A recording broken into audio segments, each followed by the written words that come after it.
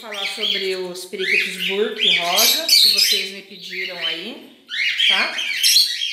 O... Essa aqui é uma fêmea, burke rosa arlequim, por isso que ela é mais escura.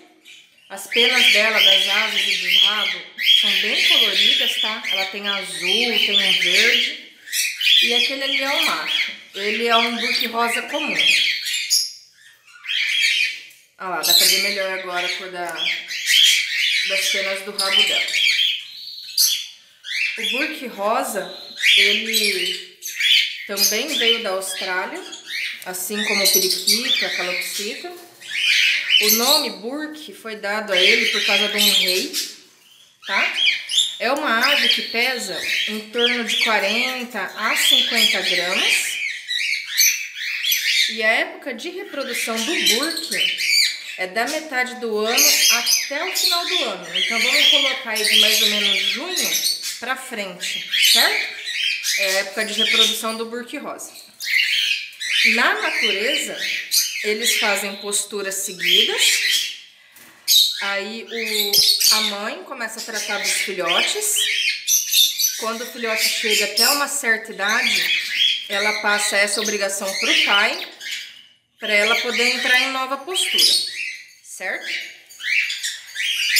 É, o ninho deles pode ser tanto esse de caixinha, assim de gaveta, né? Conhecido como ninho estojo ou ninho dois cômodos, como também aquele externo, que é um cômodo só que está pendurado aqui para fora. A alimentação deles, quem passou isso aqui foi um criador, um criador, né, que ele cria burke há mais de 10 anos e ele é criador mesmo há 40 anos. É uma alimentação bem simples de semente, ó, vocês podem ver. Aqui tem aveia, painço e alpiste, certo? Você pode salpicar, assim, jogar um pouquinho em cima de girassol e ver se eles pegam. Se eles pegar, maravilha, mas a maioria dos burks não pega. Aí aqui eu tenho uma farinhada à base de milho e uma farinhada à base de ovo. Ó. Como formar casal de burque rosa, gente? Primeiro você tem que ter um macho, tá? O macho, ele sempre vai ter o rosto mais claro, como vocês podem ver. E a fêmea tem um rosto escuro, ó.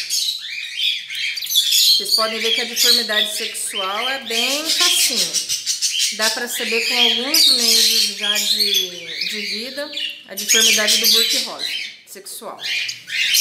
Aí para formar casal, basta você ter um macho e uma fêmea, claro. Eles com oito meses de vida já podem cruzar, já podem ter filhotes. E para você saber que o casal formou, é só você ver eles sempre junto, um fazendo carinho no outro, tá? Que daí já tá pronto para colocar o ninho, que é o caso que eu fiz aqui. Eles estavam sempre no mesmo puleiro, é que agora eu tô aqui e eles estão estão meio que assustados. É, eles vão estar sempre no mesmo puleiro e um vai estar fazendo carinho no outro.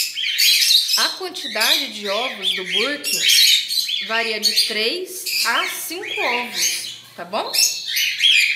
É uma ave que vive aí em torno de uns 16 a 18 anos. Só que tem criadores que já tiveram burca até 20, 21 anos. Mas é mais ou menos essa faixa aí de, de tempo que eles vivem, tá? O vídeo de hoje foi esse.